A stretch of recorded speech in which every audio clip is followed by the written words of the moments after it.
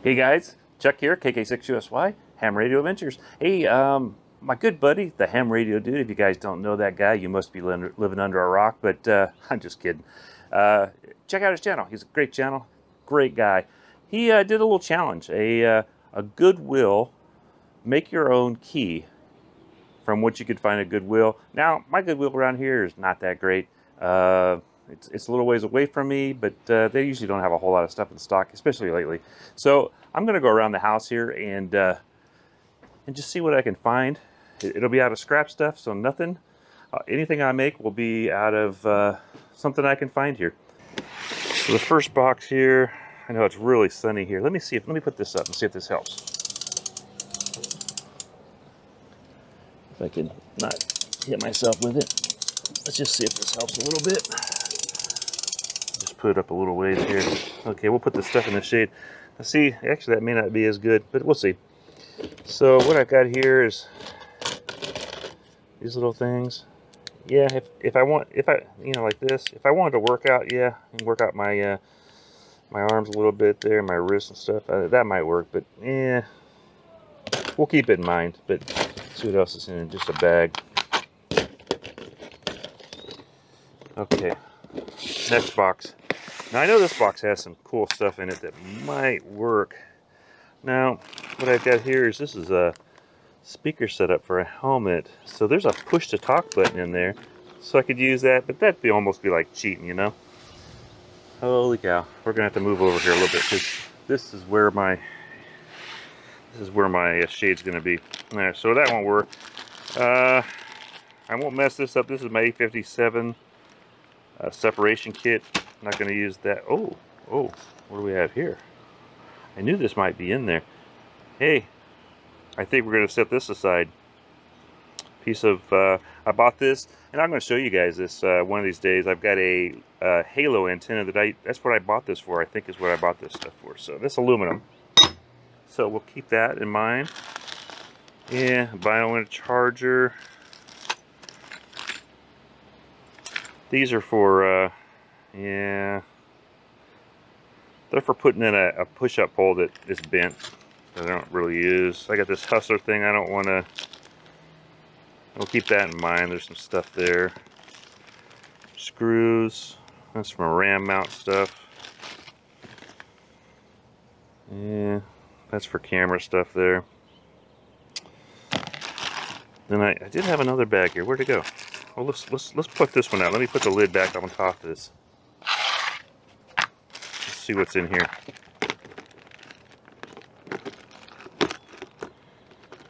Nothing goes right when you're in a hurry. I don't have, you know, I'm really late on this. I, I apologize to my buddy, Ham Radio Dude, because I didn't get this stuff done sooner. Yeah, see this, what, what this, all this stuff here is? This is me unsoldering a bunch of stuff one day. Hey, wait a minute now. One of those one of those. I think these are heat sinks for these little transistors. That might work. I actually have another one here. This one looks a little bigger. Is it bigger? Eh, I guess they're all the same size. Hopefully you guys can see all this in the shade here. I don't see anything else really. Yeah, I don't think that's anything good. But I got two of these and these these are just extra parts. I'm not going to use them for anything else. So let's let's take let's take these. So there's two things. I will. Uh, I'm going to stop here. Start kind of planning this out, and it this actually may be something I try to make that I can actually use. You know, out on the uh, out on the trail or something with my uh, KX3 or my KX2. Yeah, God, I don't have a KX3. So I'll get back to you guys. For now, let's uh, just uh, see what I can come up with. All right, everybody. Now, I am going to use this. I'm going to cut this from the end here about two and a half inches. It's an inch and a half this way. So two and a half this way. That'll give me some decent size. And I can always cut it off a little bit later. I'd rather have it just be a little bit big. Now, those little metal pieces that I found, they were, yeah, they're too stiff. Unless I was able to, to do some some good machine work, which that's not going to happen because I don't have much the stuff to do that. But what I did find, now check this out. everybody should kind of under see what this is. This is a uh, hacksaw blade. Hacksaw blade is made to be springy. It doesn't really, I mean, you can bend it, but if you bend it too far, it'll just break because it's, see? So I'm going to probably cut this, and what I'll have to do with this is cut this with a, uh, with a grinder. I, and I, I probably won't show that because it, it there's, it's just going to make a lot of noise. On this, I think I'm just going to see, I've got an old uh, uh, chop saw that I use that uh, a lot of times you can cut aluminum with a uh, carbide blade, with a, with a carbide uh, blade. It doesn't usually hurt it too bad. And the one I've got, it's just, it's an old one that I don't, I just use it for cutting up scrap wood. So, so let me try that. And then the other thing I'm going to do is I'm going to cut this at a good width to put two of these, you know, if I put these like this, so they're going to stick out. It, uh, it, this part, you have your two and a half here, and then this this piece will be back here, and it'll be a short piece. So it'll it'll probably stick out a couple inches, and that gives it a nice little bend there. And then I'll have a, and what I'll probably do is, is put a screw in here. I'll screw on the block in the back. Um, hopefully I can have enough to mess with the, where I can um, run like a quarter inch nut or maybe a, a, a number eight. I, I, have some number eights and um, that might actually be better. So let me cut this stuff. I'm, I'm not going to show cutting it. That's, that's boring anyhow. Uh, unless something happens, which hopefully it won't. so here's what we got now. There's my base. I cut these little guys and I you know just so you guys know I did take their this is the blade side and it's pretty much gone I'll, I'll touch it up some more with a, uh, a nice fine file so there's those parts okay if you guys notice these um, levers are not the um, the hacksaw blades when I finally got the hacksaw blades kind of close to be mounted, they were they were too they weren't springy enough. They were a little bit too stiff. And so what I decided, and this is, uh, like I said, this is this is a um, a junk box uh, key, not really a Goodwill key. And what I did was I had an old MFJ, cheap, like a really, it's pretty cheap keyer. And this is the keyer, but I I messed around one day and I broke these off and I had resoldered them on there and I, I never figured it would probably be the greatest um, reliability. So I went ahead and, and used those. So it's, you know, it's a little bit of a cheat and I, and I admit it. It's, but the other thing is, is I am actually going to use this keyer. So I don't feel so bad about it. But then I've got my little block here that it's going to bolt to right in this area here, I'll probably, there'll probably be a bolt here coming up, and then I'll probably try to put two small bolts in here. Do, do, do, do, do, do, do, do. Oh, already works. Okay. That's where we're at. I actually forgot to record this part. I, I put this together and I soldered all the parts on here. Sorry about that. Sorry you missed all the soldering, but uh, typical solder job. I mean, it's super small wire. It's hard to uh, actually play with. So I, I got I got into that and forgot to record it. So basically, and then here's the other part. My, my plan was to have two holes, but uh, you know, sometimes poor planning, and this was kind of poor planning because I did this really quick trying to get this up. Uh, and I didn't have enough room for the screw heads. I would probably, when I rebuild this, if I do rebuild it, I'll probably use smaller screws. I meant to, and then I then I drilled the wrong size hole. I was I was really hurrying. This only took me like an hour, a little over an hour, maybe hour and a half to make totally to put it together to where it was working. And I put the feet on the bottom because that because what I'd probably do with with this next time is is put a hole in there a little deeper so this would be flush, or at least close to flush. And right now I don't I had to use this washer because um, I can't I could only tap it so far with a bolt. So here we go. So what's going to happen is basically this is going to have to stay in the middle here.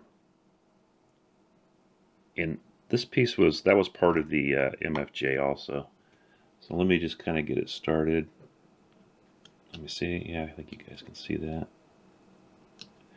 And same here. This screw was it's kind of an odd. I don't even know what size it is. Um, and I threaded this with a, with a bolt. I ended up breaking one bolt. And luckily, it was a long one, so I was able to get it out. So I'm just going to leave that there for now. I'm going to come over to the back side here, get my screw,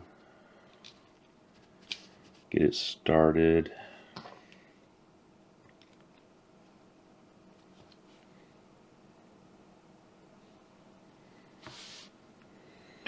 So I'm doing all this with just my little uh, DJI camera too. I, I, didn't, we're not, I didn't go all out on this. I wanted to get it up quick because I was late in the first place. So that's the thing on here too is you gotta gotta get this kind of in the middle, and my screw's crooked. I, I will, I will when I make this final build, I will get in there and uh, make it just a little nicer, a little more accurate. There, it looks like a good spot right there. I may have to go off camera to finish tightening this because I don't think I can get it all on the screen. But anyhow, I like these little Allen heads. They're little button heads. They're they're nice. Actually, that's probably good. It went in better that time, to tell you the truth. Then it kind of leaves me a little bit of adjustment there.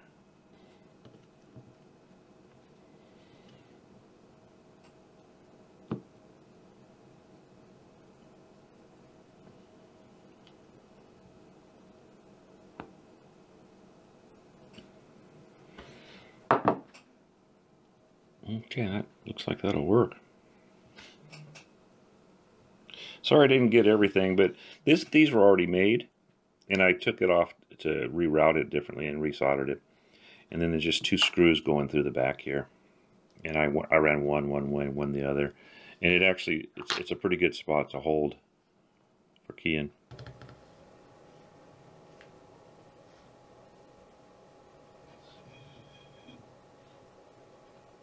Okay, guys, there it is. I'm going to uh, just show that it actually works. Um, I really actually like this thing. It's probably going to go in my uh, Elecraft bag once I learn how to uh, actually do CW, hopefully one of these days. So let's just try it out and make sure she works.